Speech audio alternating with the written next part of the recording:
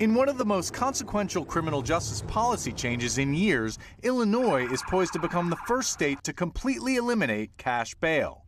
The law is under court challenge, but if it takes effect New Year's Day as planned, advocates say it will make the justice system fairer to those with low incomes, while giving judges discretion to detain people who pose a danger. I believe that violent criminals, people who are a danger to our community, will be detained, and those who are not a danger will be released on bond. Following the lead of many European countries, California will become the first state to ban the sale and production of most products made from animal fur.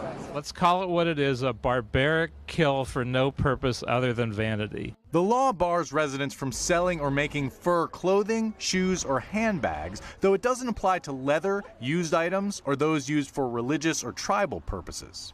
California is also repealing a law this year against jaywalking.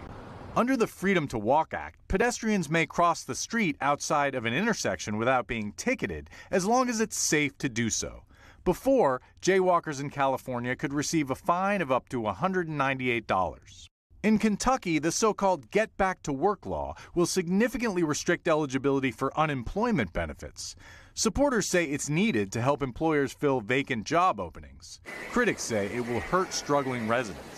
Alaska is changing what it means to consent to sex in that state. The previous law required a use of force to prove sexual assault.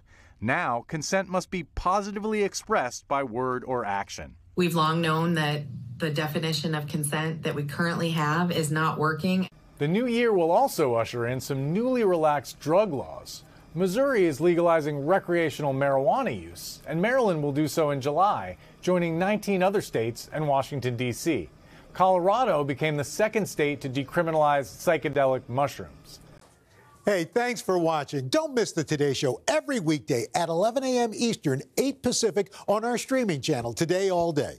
To watch, head to today.com slash all day or click the link right here.